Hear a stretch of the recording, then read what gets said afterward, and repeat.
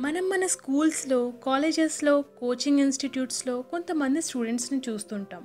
వాళ్ళు వాళ్ళకి నచ్చిన పని చేస్తూ ఫ్రెండ్స్తో టైం స్పెండ్ చేస్తూ సినిమాలకు వెళ్తూ కొంచెం సేపు చదువుకుంటూ ఉంటారు. అయితే వాళ్ళకి చాలా ఎక్కువ మార్కులు వస్తుంటాయి.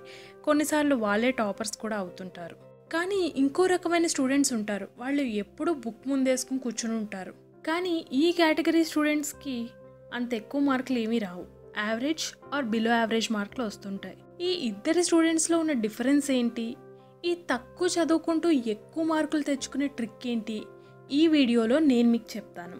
ఒకవేళ మీకు ఈ వీడియో నచ్చినట్లయితే లైక్ చేయండి షేర్ చేయండి సబ్స్క్రైబ్ చేయండి. తక్కువసేపు చదివి ఎక్కువ మార్కులు తెచ్చుకునే వాళ్ళలో ఉన్నదేంటి? ఎక్కువసేపు చదివి తక్కువ మార్కులు తెచ్చుకునే వాళ్ళలో లేనిదేంటి? అంటే సమాధానం ఖచ్చితంగా ఫోకస్ అనే చెప్పు. ఎక్కువసేపు చదివే స్టూడెంట్ ఇంక ఈ ఎగ్జామ్ అయ్యేంత వరకు మనకి బుక్స్ తప్ప ఏమీ లేవురా బాబు. తనకున్న పరిస్థితిని తిట్టుకుంటూ బుక్స్ మీద విసుక్కుంటూ చిరాగ్గా రోజంతా బుక్స్ ముందే కూర్చుని ఉంటాడు. ఇలా తనకి ఇష్టం లేకపోయినా రోజంతా బుక్స్ ముందే కూర్చోవడం వల్ల బ్రెయిన్ కూడా కొత్త విషయాలు ఏవో నేర్చుకుంటున్నాం అన్న ఎక్సైట్మెంట్ చూపించకుండా ఒక బోరింగ్ మూడ్లో మనల్ని పెడుతుంది. ఎలా చదివితే మంచి రిజల్ట్స్ వస్తాయో ఒక ఫోకస్ లేని స్టూడెంట్ ఫోకస్ ఎలా ఇంప్రూవ్ చేసుకోవాలో ఇప్పుడు మనం చూద్దాం. చదవాలి అని అనుకున్నప్పుడు ఎప్పుడు ఎక్కడ ఎలా చదవాలి అని మనం ముందు ప్లాన్ చేసుకోవాలి. ఎప్పుడు చదవాలి? ఏ టైంలో చదవాలి? అంటే ఖచ్చితంగా ఎర్లీ మార్నింగ్ అనే చెప్ ఎందుకంటే ఎర్లీ మార్నింగ్ మనకి ఎలాంటి డిస్ట్రాక్షన్స్ ఉండవు.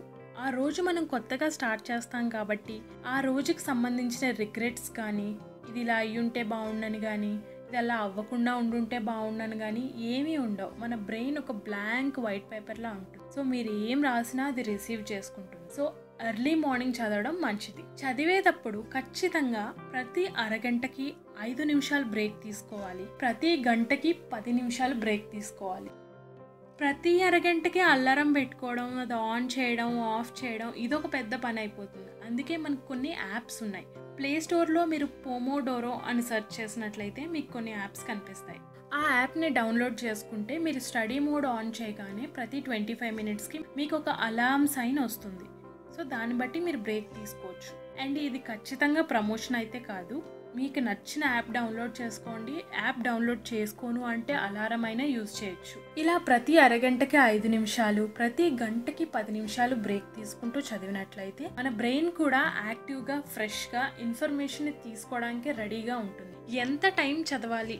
అనేది మన సిలబస్ని బట్టి మనం ఎంతసేపు కూర్చొని చదవగలం అనే దాన్ని బట్టి ప్లాన్ చేసుకోవాలి. టాపర్స్ ఇంటర్వ్యూస్లో నేను రోజుకు పది గంటలు పదహారు గంటలు పద్దెనిమిది గంటలు చదివేవాడిని చెప్తారు. వాళ్ళు పద్దెనిమిది గంటలు చదివారని మీరు పద్దెనిమిది గంటలు బుక్స్ ముందు కూర్చోవాల్సిన అవసరం లేదు. రోజుకి ఒక ఆరు గంటలు చదవడంతో స్టార్ట్ చేయండి. మెల్లగా మీ కెపాసిటీని ఇంక్రీజ్ చేసుకుంటూ ఆరు గంటలు ఎనిమిది గంటలు ఎనిమిది గంటలు పది గంటలు. అండ్ పది గంటల కంటే ఎక్కువ చదవాల్సిన అవసరం ఏ ఎగ్జామ్కి ఉండదు. మనం కరెక్ట్గా ప్లాన్ చేసుకుంటే. ఏ ఎగ్జామ్లో అయినా ట్వంటీ పర్సెంట్ సిలబస్ నుండి ఎయిటీ పర్సెంట్ క్వశ్చన్స్ వస్తాయి. ఆ ట్వంటీ పర్సెంట్ ఏంటి? చదవడంలో మనం ఎయిటీ ట్వంటీ రూల్ యూజ్ చేయొచ్చు. అనేది మనం అబ్జర్వ్ చేయాలి. ఆ ట్వంటీ పర్సెంట్నే మనం చదివి రివైజ్ చేసి మళ్ళీ రివైజ్ చేసినట్లయితే మనకి ఎయిటీ పర్సెంట్ ఆఫ్ ద క్వశ్చన్స్ని మనం ఆన్సర్ చేయగలుగుతాం. సో ఇప్పుడు మనం తెలుసుకున్నాం కదా ఎప్పుడు చదవాలి ఎలా చదవాలి ఎంతసేపు చదవాలి అని మనం తెలుసుకున్నాం కదా. సో ఈ టెక్నిక్స్ని మీరు ఇంప్లిమెంట్ చేసి బెటర్ రిజల్ట్స్ని పొందాలని ఆశిస్తున్నా. ఈ వీడియో కనుక మీకు నచ్చినట్లయితే లైక్ చేయండి షేర్ చేయండి కమెంట్ చేయండి సబ్స్క్రైబ్ చేయడం మాత్రం మర్చిపోండి